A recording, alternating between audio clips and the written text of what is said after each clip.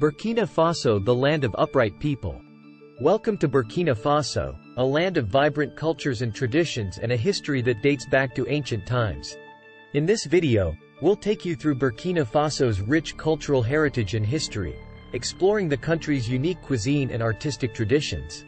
History The Mossi Kingdom was a powerful pre-colonial state that once ruled over much of what is now Burkina Faso. The Mossi people were skilled warriors and traders, and their influence can still be seen in Burkina Faso's cultural traditions today. The Mossi kingdom was founded in the 11th century when several Mossi chiefdoms united to form a powerful state. Over time, the Mossi kingdom grew in size and influence, with a powerful military that could conquer neighboring territories.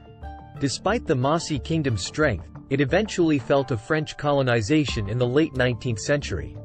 However, the Mossi people have maintained their cultural traditions and play an essential role in Burkina Faso's society today. Other kingdoms include Kingdom of Dagomba located in the northern part of present-day Ghana and extending into Burkina Faso. The Dagomba Kingdom was one of the region's earliest and most powerful kingdoms, with a history dating back to the 11th century. Kingdom of Germa located in the eastern part of Burkina Faso. The Germa kingdom emerged in the 13th century and was known for its military prowess and skilled horsemanship. Kingdom of Yatenga, located in the northern part of Burkina Faso. The Yatenga kingdom was one of the region's most powerful and long-lasting kingdoms, with a history dating back to the 14th century. The kingdom was known for its strong military and commercial ties with neighboring empires. Kingdom of Tenkodogo, located in the central part of Burkina Faso. The Tenkodogo kingdom was a relatively small but prosperous kingdom that emerged in the 16th century. The kingdom was known for its skilled artisans and its strategic location on trade routes. Food. One of the best ways to experience Burkina Faso's culture is through its food. The country's cuisine is diverse and flavorful, with many dishes incorporating local ingredients like millet, sorghum, and peanuts. Some popular dishes include tu, a type of porridge made from millet or sorghum flour. Riz gras, a rice dish cooked in a tomato-based sauce with vegetables and meat.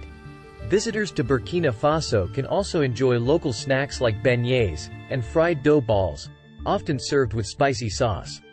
Festivals Burkina Faso is a country with a rich cultural heritage, and it is home to several unique festivals that showcase the country's traditions and customs. Here are some of the most notable festivals in Burkina Faso. FESPACO, the Pan-African Film and Television Festival of Ouagadougou. FESPACO is a biennial event that celebrates African cinema. It is the largest film festival on the continent, attracting filmmakers, actors, and film enthusiasts worldwide. The festival showcases a range of films, from documentaries to feature-length dramas, and it is an essential platform for African filmmakers to share their stories and perspectives. Festival International de la Culture et des Arts du Burkina Faso. FESTICAB. Festicab is an annual festival celebrating the country's cultural diversity. It features a range of activities, including music, dance, theater, and visual arts. The festival is held in the capital city of Ouagadougou, attracting thousands of visitors from across the country and beyond. Show, the International Art and Craft Fair. Show is a biennial event showcasing Burkina Faso's best art and craft. The fair features a range of products, including textiles, pottery, wood carvings, and jewelry. It is an important platform for local artisans to sell their products and connect with buyers worldwide. La Semaine Nationale de la Culture, SNC. National Culture Week is an annual event celebrating Burkina Faso's cultural heritage. It is held in different parts of the country each year and features various activities, including music, dance, theater, and traditional sports. The event is an important opportunity for Burkina Faso to showcase its cultural diversity and promote national unity. Fête de la Musique The Fête de la Musique is an annual music festival celebrated in cities and towns across Burkina Faso. The festival showcases a range of musical genres, from traditional folk music to contemporary pop and hip-hop. It is a celebration of music and community and a popular event for people of all ages. In conclusion, Burkina Faso has a vibrant cultural scene, and its festivals are essential to its cultural heritage. These festivals offer a unique opportunity to experience the country's traditions and customs, and they are an important platform for local artists and artisans to showcase their talents. Political history Burkina Faso has a tumultuous political history characterized by coups and military interventions. The first coup in Burkina Faso occurred in 1966, just six years after the country gained independence from France. Several others followed this coup in the following decades, including one in 1980 that brought General Jean-Baptiste Ouedraogo to power. Perhaps the most notable coup in Burkina Faso's history occurred in 1983 when Captain Thomas Sankara led a military coup that overthrew the government of President Jean-Baptiste Ouedraogo. Thomas Sankara was a Burkinabe military captain and revolutionary who served as the president of Burkina Faso from 1983 until his assassination in 1987. He is considered one of the most influential figures in African history and a symbol of resistance against neocolonialism and imperialism. Sankara's presidency was marked by his commitment to revolutionary ideals and his determination to improve the living conditions of the Burkinabe people. He implemented numerous social and economic reforms, including land redistribution, nationalization of key industries, and a campaign to promote self-sufficiency and self-reliance. Sankara was also a staunch advocate for women's rights and promoted gender equality. He launched a nationwide campaign to combat female genital mutilation and other harmful traditional practices and appointed women to prominent positions in government. However, Sankara's radical policies and anti-imperialist stance put him at odds with Western powers and domestic elites, leading to his downfall.